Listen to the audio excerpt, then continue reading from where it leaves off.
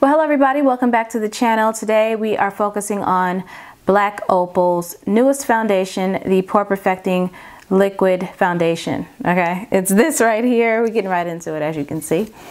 These foundations right here, they just came out with these probably a little over a month ago, I believe, maybe two months, I'm not sure. But around that time, okay? Um, I've had these for probably a few weeks now. So I'm pretty sure they've been out at least two months. Um, I love Black Opal Stick Foundations. Love them.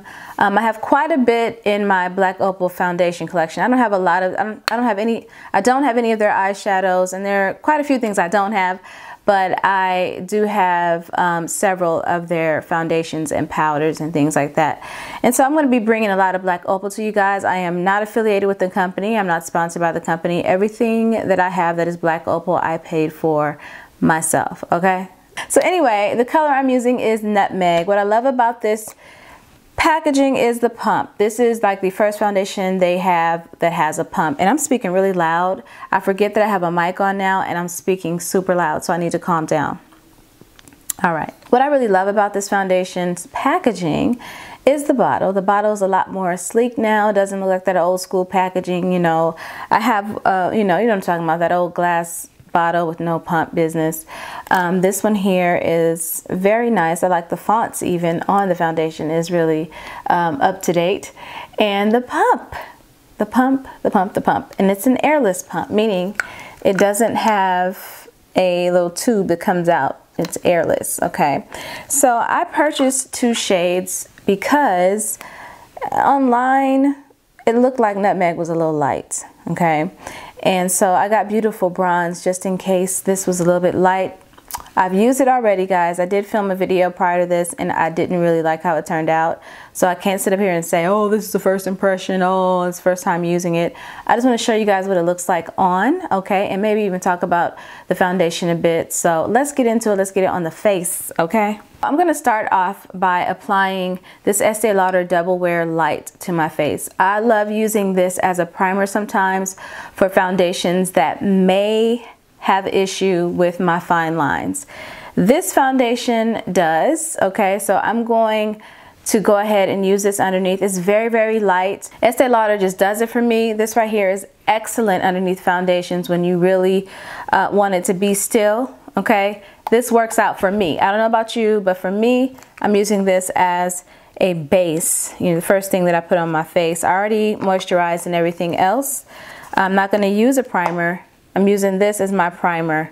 Okay, and it's in the color 5.0. It is not ex my exact color, so it also works out as well. And this is the area where I have the most problems. Um, I'm having a little breakout right now too, so I don't know what's happening. It could be all the different products that I've been trying lately or what, I don't know. Or the or the fact that I'm not drinking enough water. So I'm just kind of rubbing that in around here. Okay.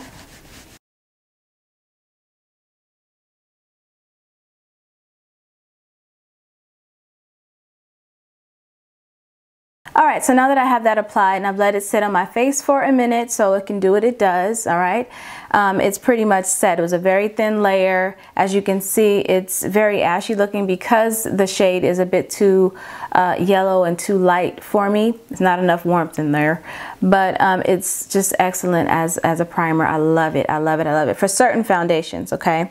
So let's get into the foundation. So this foundation uh, helps minimize the appearance of pores. It has a matte finish.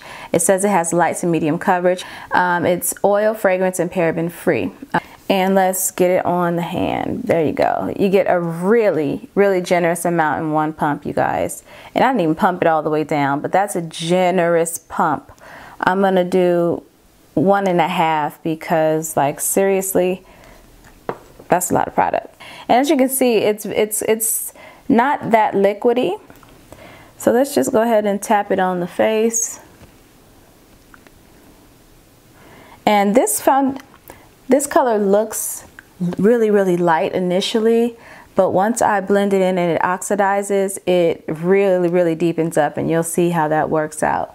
Because I was really, really nervous about this not being the right shade. Okay, so um, obviously I'm to go ahead and use a beauty blender with this.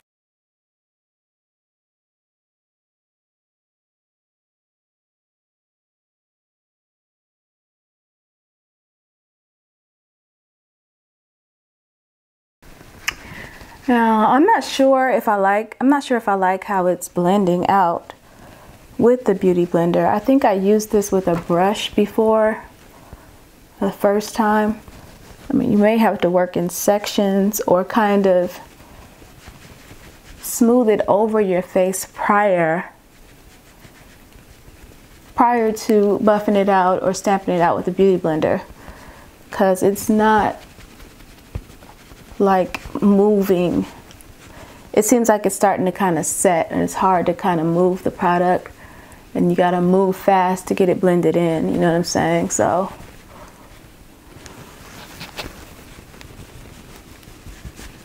yeah. It didn't really cover this hyperpigmentation that well. So I'm actually going to go in with one of the Black Opal concealers.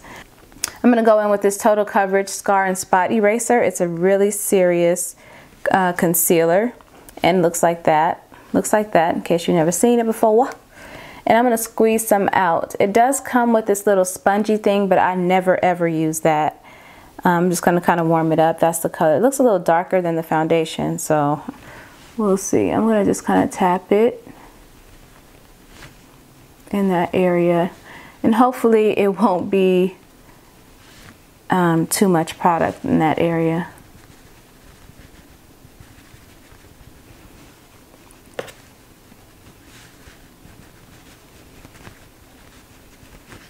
All right, so that helped a little bit.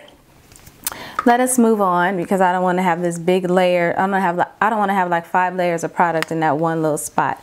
So we're going to move on so I love how this sets. I really, really do. I love the look of it. It looks really good. It's a very good everyday foundation. I will tell you that right off the top.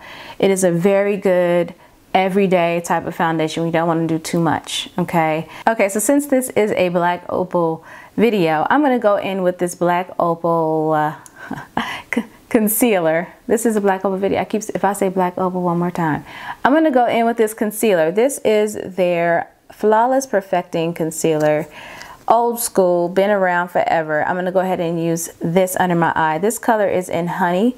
And I'm just gonna highlight now because I'm gonna finish the remainder of my face in another tutorial. So since this is Black Opal, let's go ahead on and do it. I'm just going to do that. Okay, and this is gonna be my highlight color, obviously. I like this because it is a cream and it's not too drying underneath my eye. Taking the same beauty blender and I'm going to blend that out.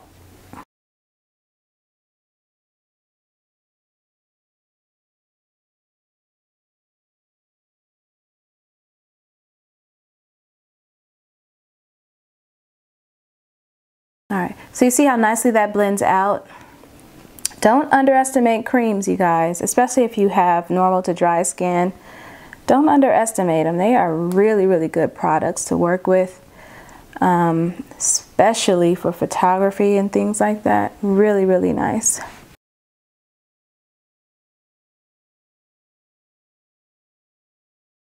So to me, that is a very nice highlight situation. It's not over the top. It's not overdone. It's not crazy. To me, it's a very smooth contrast. It's not like too harsh either way. All right, so I am going to continue on with Okay, so the black opal powders that I have, I'm not going to use underneath my eye. I'm going to use something else, which is my Sacha Cosmetics powder right here. Buttercup, yes, did a video on this last year, okay? Um, I also have their invisible blocking, uh, invisible oil blocking powder, okay? But this has, I wish there would, the gardeners were out there. I wish they were not destroying the sound in my video. Like, why? It seemed like they come like every other day. Like, how, how much? Anyways, as you can see, this translucent powder has color to it, you know, which is good. I'm not complaining about that because I feel like we need that. But for the under eye, if you want it to remain bright and warm and yellow, this is not the one. It will change it. It will definitely change the effect. So I'm not going to use that under my eye. I'm going to use that on the remainder of my face. However, I'm going to go in with my Sacha Cosmetics Buttercup Powder. Powder. So I'm going to use this um, OCC brush, Obsessive Compulsive Cosmetics. I'm gonna use that brush and tap that.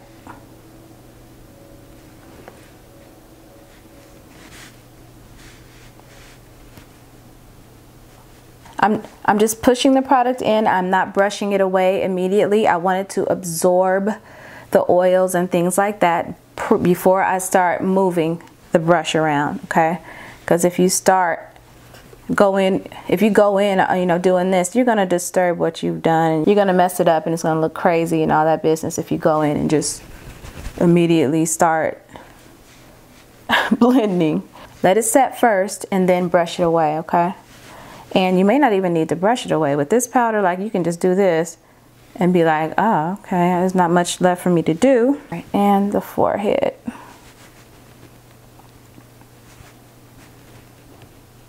So on the remainder of my face, I'm gonna go in with the Invisible Oil Blocking Powder. And it is uh, translucent, but it it's translucent with color, y'all, okay? So yeah, I'm gonna take this brush. This is a Shiny Cosmetics brush and one of my favorite powder brushes. I love this shape. You can see powder everywhere. I love the shape of this brush. So I'm just going to tap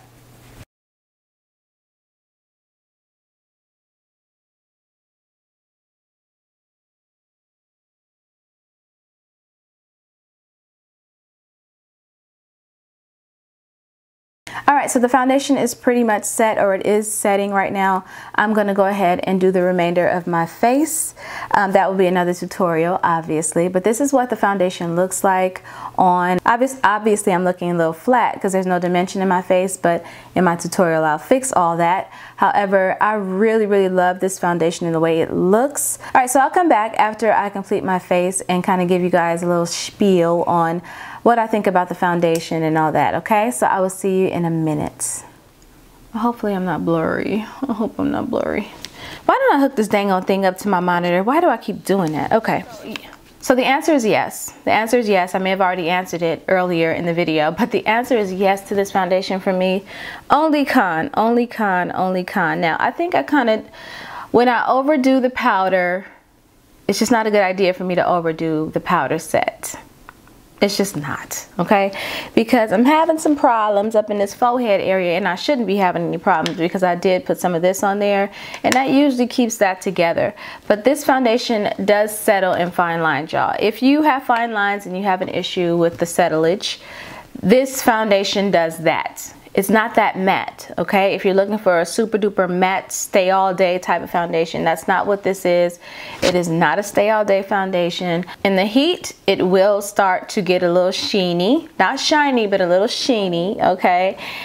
However, I really love the pore, pore what? Child. I really love the pore perfecting abilities of this thing. It did, okay, so you got a big old piece of hair just like chilling on your cheek. You know what I'm saying? Like, hello, do you have to do it over again? All right, if you're oily, you will need an oil mattifying type of prime, primer underneath this. Look, you better get you some of that Becca matte whatever primer. Get you that, get you that Makeup Forever mattifying step one primer, get you that if you are oily, okay, because this is not a stay all day matte foundation. It says it has a matte finish, but it's warming up. I'm not an oily person, but if I wear this out in the heat, I will get sheeny. You know what I'm saying? I will, even though I set it you know what I mean? And it does kind of like settle into fine lines if you have that issue. You know, if you don't have Botox in your forehead or around your mouth or whatever, or fillers, if you don't have any of that and you know you have some little stuff happening like I do, um, you know, you may get some settlage. You know, when it mixes in with the powder and all that type of thing, it may happen. You know what I'm saying? So, not to be fair, part of that is because I used this concealer, which is hella creamy you know, as my highlight up there. Now, had I used my um, LA Girl Pro Concealer or something like that, a stay put type of concealer, I wouldn't be having that issue up there. But you guys saw I used this up here. And um, so that's kind of like, you know, settling and doing what it does or whatever because of this. This is, you know, excellent under the eyes. I do like it under the eyes. It's not my favorite. It works it's cheap, whatever. If you want a creamier foundation, um, no, if you want a creamier concealer, you can try it, but it's not gonna stay put. I prefer others over that okay i really do. That's not my favorite thing. But this foundation will definitely be in rotation for like a daily type of foundation in my lifestyle. Like i'm not doing the most. So but just to like kind of look a little put together i'll throw some of this on because it's not doing too much. And i probably won't even use a pump and a half. I'll probably use like half a pump or maybe one pump and a lightly powder okay so for a drugstore foundation, I say yes. I'm very happy that um, you know I'm I'm I'm I'm always excited for a brand that represents brown skin tones and has a presence in the drugstore. You know what I'm saying? They're not everywhere because I, I can't even walk into a store where I live and get them, which is sad because it should be just like Revlon and just like L'Oreal and CoverGirls everywhere. This stuff should be everywhere. You know, and it, maybe it's expensive to do that, but you know it should be everywhere so everybody can have access to this type of thing. So this is the first foundation demo in the series that I'm going to be doing for Black Opal because I have several others. The sticks, I'm going to do another I'm going to do another video with the foundation sticks. I did one oh my god, so long ago with horrible lighting, horrible talking, horribleness, just horribleness. I was looking so busted too. Like, I can't believe people watched that video. Like you couldn't even see what I was doing. You couldn't even see the color of my skin. You couldn't even see the foundation, you know, what it was doing. How, you know, it was just, I can't believe it. I can't believe that people watched that video. Um, but that's it, y'all. This is a yes. I say give it a shot. Let's thank you so much for watching. Thumbs up the video, you guys. It really, really does help to spread the spread the the love. How about that? Spread the love. Spread the love, okay?